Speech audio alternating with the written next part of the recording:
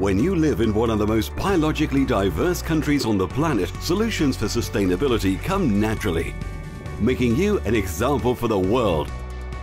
Discover how do they do it in Mexico. The natural world has long defined the nation. And today, conservation of this abundance is a priority. With local communities embracing their role to sustain the future, the country's protected areas offer homes to some of the most diverse wildlife on Earth.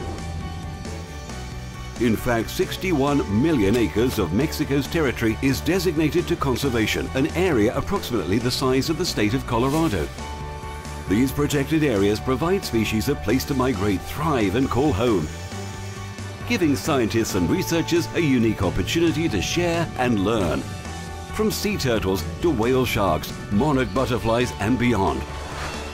The natural world lives in Mexico.